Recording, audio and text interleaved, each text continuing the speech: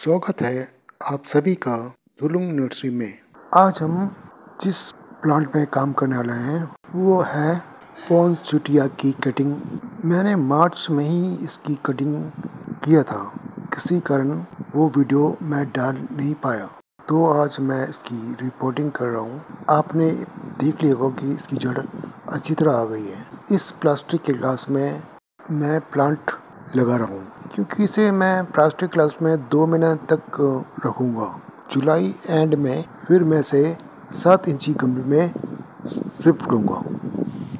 मेरे पास ये चार कलर में है।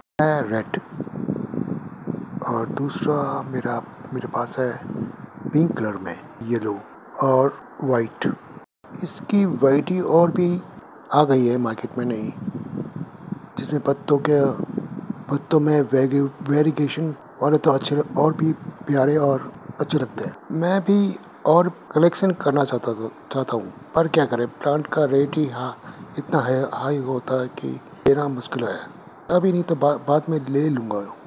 अभी कटिंग रेडी हुई है मेरे पास 51 पर मेरे मदर प्लांट में जब मैंने इसकी कटिंग की थी वो वही नई शूट निकली है।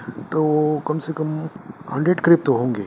जो मैं जून, जुलाई में कटिंग करूँगा और इनकी मैं सितंबर में करूँगा क्योंकि इसमें बिना पिंच किए और ब्रांच नहीं निकलेगी। जितने ब्रांच उतने ही प्लांट अच्छे लगेंगे। हमारे यहाँ क्रिसमस में इसकी डिमांड ज़्यादा होती है क्योंकि ये गिफ्ट गिफ्ट भी किया करते हैं बहुत जने और हमारे, मेरे तो मेन तो माली आते हैं तो वही ले खास में वही ले ले जाते हैं। तो हमें तो बनाना पड़ता है इसकी। ज़्यादा से ज़्यादा कटिंग और बेहतर प्लांट्स अब हो गया पानी डालने का टाइम तो पानी में एंटी फंगस डाल के मैं डाल रहा हूँ।